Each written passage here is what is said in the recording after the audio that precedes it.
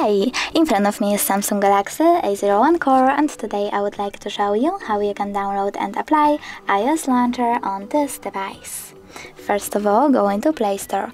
Now tap on the search bar over here, type iOS Launcher and download this app, the first one, from this developer. Following that, open it.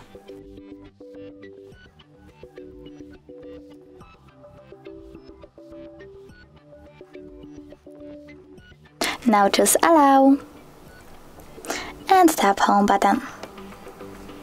Click on iOS Launcher, select Always. Tap Got it. And as you can see, after clicking OK, I can see that Apple layout was applied successfully on my device. Thanks so much for watching. If you enjoyed this video, don't forget to leave a like, comment and subscribe. Bye!